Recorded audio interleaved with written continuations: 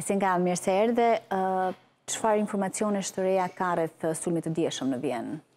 Tashmë është raportuar që tre persona kanë mbetur të vdekur, mes tyre edhe njëri prej agresorëve i cili u asgjësua nga policia në momentet në momentet në momentet e ngjarjes. Por 15 persona të tjerë kanë mbetur të lënduar dhe janë duke marrë dhe trajtimin e duhur mjekësor. Njëri një nga agresorët tashmë është në arrati, janë ngritur edhe pika të ndryshme kontrolli jo vetëm në Austri, por edhe në Çeki, e cila është në kufi me shtetin austriak për të parë nëse ky agresor mund të drejtohet drejt Çekisë apo drejt shteteve të tjera evropiane. Ministri i Brendshëm austriak u ka bërë thirrje qytetarëve që të mos lëvizin nga shtëpia dhe u ka bërë thirrje familjarëve që të paktën për ditën e sotme të mos i dërgojnë fëmijët në shkolla. Është një sulm terrorist që e kanë përshkruar dhe autoritetet austriake apo dhe vetë kancelari austriak Sebastian Kurz, i përshkruar si një sulm terrorist ndoshta edhe për shkak të ngjarjeve të fundit që kanë prekur edhe Francën, ku dy sulme terroriste të cilësuara nga autoritetet sulme terroriste kanë shkaktuar, kanë prishur atë lloj qetësie për të cilën tashmë shumë shtete evropiane kishin rënë. Në mediat austriake Atentatorët lidheshin, njiheshin si mbështetës të ISIS. Kanë të dhëna autoritetet policore apo Fakti që ngjarja ndodhi pranë një sinagoge është cilësuar e tillë nga ministri i Brendshëm, por ende është shumë herët për të për të dalë në konkluzione nëse dy agresorët, njëri i cili tashmë për të cilin ende nuk ka informacione se cili është mosha apo vendi nga vinte, ende nuk ka të dhëna për të dyshuarit kryesorë.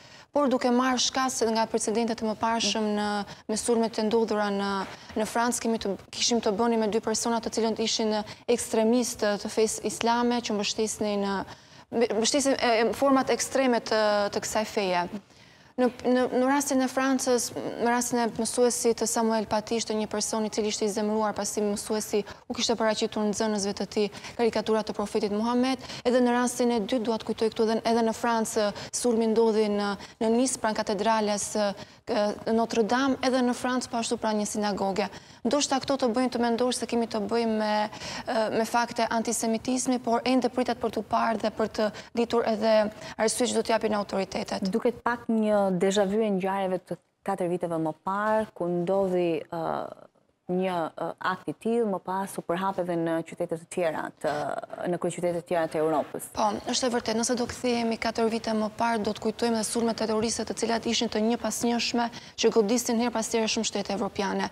Franca ka qenë gjithmonë një nga shtetet më të goditura, sulmi në Bataclan, ku janë shoqëruar me dhjetra të vdekur, qindra të plagosur, Dhe mënyrat e sulmeve në atë kohë kanë qenë të ndryshme, kanë qenë me kamikazë të cilët hidheshin në erë. Belgjika po ashtu ka qenë një shtet tjetër i cili është prekur nga sulme terroriste.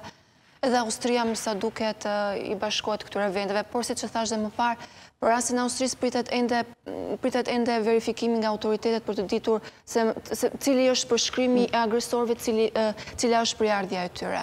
Ndoshta edhe vende të tjera do të nisin menjëherë marrjen e masave për të mos u përsëritur ajo që ndodhi. Ndoshta duke qenë edhe në kushtet e pandemisë, kjo i vështirëson edhe më shumë gjërat. Edhe në Austri njerëzit ishin duke festuar natën e fundit përpara se vendi të futej në një bllokim total.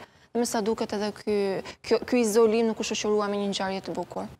Mirë Senka, faleminderit. Faleminderit juve.